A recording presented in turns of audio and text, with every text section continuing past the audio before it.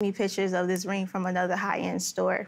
So what at the end happened with the ring that you got? Um, the ring that was supposed to come mm-hmm. never came. I actually called the numbers back after, I just out of suspicion because he kept, you know, these outrageous stories. And the ring was never on layaway. It was never being paid for because he never called anyone. All the numbers were like TSL mm. numbers. Um, I end up settling for a eight ninety nine supermarket ring. I didn't think at the time it was a bigger deal because to me uh, it's a marriage, not a ring, but it was. I actually like turned my finger green like two days later. Did that bother you? It it did. it did later on. It did.